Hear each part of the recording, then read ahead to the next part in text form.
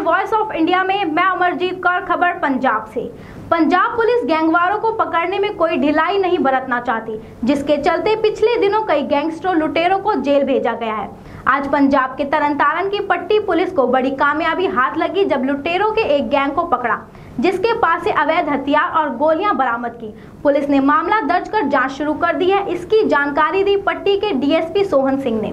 ਆइए ਸੁਣਤੇ ਹਾਂ ਸਿਟੀ ਪੱਟੀ ਨੇ ਨਾਕਾ ਲਾਇਆ ਸੀਗਾ ਲਾਹੌਰ ਚੌਕ ਦੇ ਵਿੱਚ ਜਿੰਨਾ ਪਾਸ ਮੁਖਰੀ ਹੋਈ ਇਹਨਾਂ ਪਾਸ ਕਿ ਕੁਝ ਆਦਮੀ ਨਿਸ਼ਾਨ ਸਿੰਘ ਦੇ ਬਾਗ ਦੇ ਵਿੱਚ ਲੱਖਾਂ ਦਾ ਬਾਗ ਹੈ ਉਹਦੇ ਵਿੱਚ ਮਾਰੂ ਹਥਿਆਰਾਂ ਨਾਲ ਲੈਸ ਹੋ ਕੇ ਕੋਈ ਵੱਡੀ ਵਾਰਦਾਤ ਨੂੰ ਲੁੱਟਖੋ ਦੀ ਵਾਰਦਾਤ ਨੂੰ ਅੰਜਾਮ ਦੇਣ ਜਾ ਰਹੇ ਆ ਜੇਕਰ ਹੁਣੇ ਉੱਥੇ ਰੇਡ ਕੀਤਾ ਜਾਵੇ ਤਾਂ ਜਿਹੜੇ ਗਿਆ ਮਾਰੂ ਹਥਿਆਰਾਂ ਨਾਲ ਅਸੀਂ ਜਿਹੜੇ ਨੌਜਵਾਨ ਲਿਆ ਰੰਗੇ ਹੱਥੀ ਕਾਬੂ ਆ ਜਾਂਦੇ ਜਿਸ ਦੀ ਇਤਲਾਹ ਦੇ ਉੱਤੇ ਮੁੱਖ ਅਫਸਰ ਥਾਣਾ ਨੇ ਸਮੇਤ ਪੁਲਿਸ ਪਾਰਟੀ ਜਾ ਕੇ ਉਹਨਾਂ ਨੂੰ ਰੇਡ ਕੀਤਾ। ਰੇਡ ਕਰਨ ਦੇ ਉੱਤੇ, ਮੌਕੇ ਦੇ ਉੱਤੇ ਜਿਹੜੇ ਹੈਗੇ ਆ, ਤਿੰਨ ਆਦਮੀ ਜਿਹੜੇ ਹੈਗੇ ਆ, ਉਹ ਜਿਹੜੇ ਮਾਰੂ ਹਥਿਆਰਾਂ ਦੇ ਨਾਲ ਲੈਸ ਸੀਗੇ, ਉਹ ਆ ਗਏ, ਜਿਨ੍ਹਾਂ ਦੇ ਵਿੱਚੋਂ ਇੱਕ ਜਲਾਦ ਜਲਾਦ ਦੇ ਕੋਲੋਂ ਜਿਹੜੇ ਹੈਗੇ ਆ, ਇੱਕ ਪਿਸਟਲ ਬਰਾਮਦ ਹੋਇਆ 32 ਬੋਰ ਦਾ ਤੇ ਪੰਜ ਰੌਂਦ, ਤਿੰਨ ਰੌਂਦ ਸੌਰੀ ਤਿੰਨ ਰੌਂਦ ਉਹਦੇ ਕੋਲੋਂ ਬਰਾਮਦ ਹੋਏ ਜਿੰਦਾ ਤੇ ਇੱਕ ਜਗਰੂਪ ਸਿੰਘ ਉਹਦੇ ਕੋਲੋਂ ਵੀ 32 ਬੋਰ ਦਾ ਹੋਇਆ, ਇੱਕ ਗਰਜੰਟ ਸਿੰਘ ਹੈ, ਉਹਦੇ ਕੋਲ 315 ਬੋਰ ਦਾ ਜਿਹੜਾ ਹੈਗਾ, ਪਿਸਟਲ ਬਰਾਮਦ ਹੋਇਆ। पंजाब पुलिस वैसे ही हाई अलर्ट है। जगह जगह नाकेबंदी लगाकर जाँच की जा रही है।